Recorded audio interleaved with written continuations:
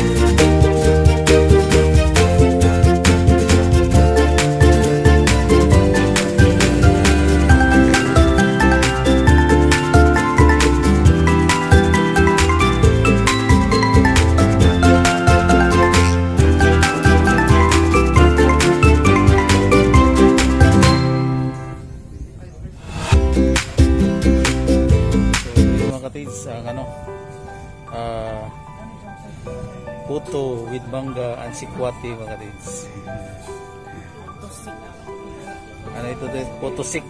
Ano lang ito mga katids? 160. Yan, dalawa ka puto with mangga at saka ano, ah,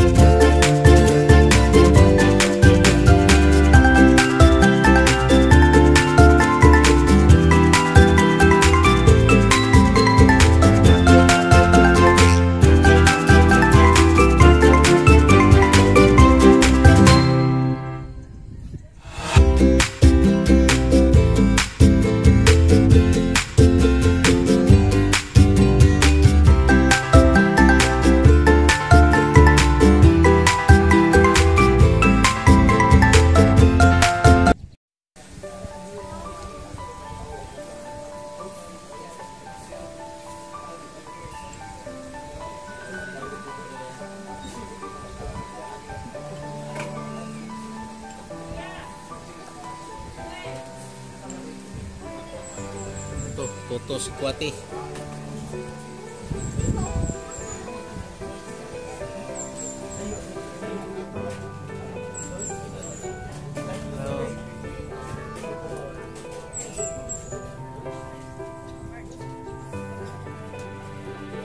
Salamat, salamat sa pagtanaw sa akong video. Salamat, thank you kayo. Mga katins, katropa, kawas salak. Modo squad na may squad. Yoban. Lingkunatics. Kain tayo, buko salad. Snack tayo, buko salad.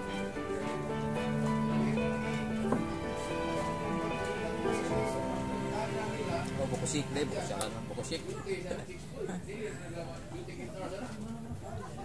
Ito yun mga tids, ang ano? Chicks Boy. Ah, iwan ko bakit pangalan nito Chicks. Dal- Dalawa ang ano, dinala Chicks at saka Boy, Chicks Boy.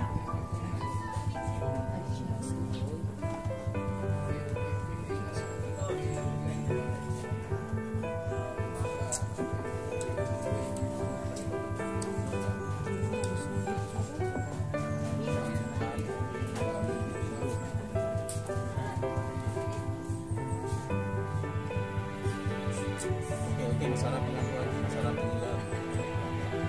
Buko shake at saka yung sikwati, puto.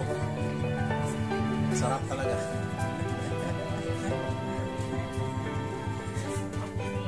Kaya nga nung yung nalalig, chicks boy na Chicks boy yung tagiyari. Ha? Wala. Kaya pala pinangalanan ito ng chick boy at saka ano pala ito, combination ng ano, chicken at saka baboy. Ano ano nila dito, yung barbecue. Chicken barbecue at saka baboy. Yung ano nila dito, yung masarap na pagkain. O kung sino yung gustong pumunta dito, ano lang ito, sa Busay. Malapit lang ito sa ano sa Cebu City. Ganda ito pag ano, pag ah, hapon, mga ano, mga 5 p.m. kasi hindi na mainit. At saka gabi, ah, maganda dito pasyalan. Malapit lang ito sa ano, uh, Tincologlia. Ano, mga, galing sa Tincologlia, mga ano, mga 100 meters. Chicks boy na chicks boy. Gusto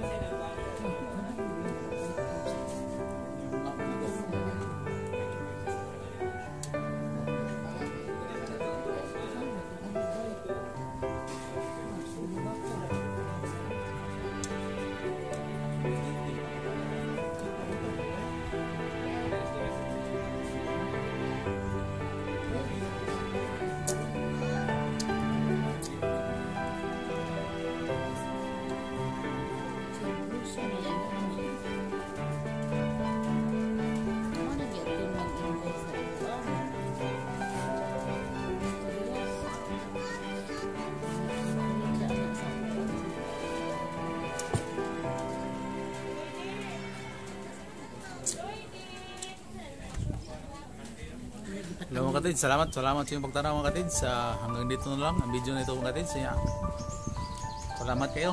Sa sunod na po na ko nga video. Thank you. Salamat. Bye-bye.